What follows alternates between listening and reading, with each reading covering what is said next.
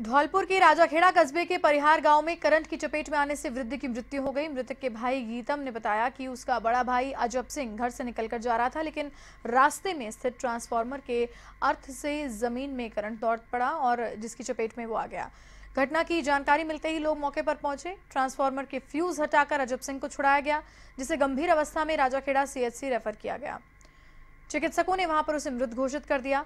ग्रामीणों ने विद्युत विभाग पर लापरवाही का आरोप भी लगाया है, जिसके बारे में विभाग को लिखित में शिकायत भी दी जा चुकी है। लेकिन विभाग ने शिकायत पर अभी तक कोई ध्यान नहीं दिया है।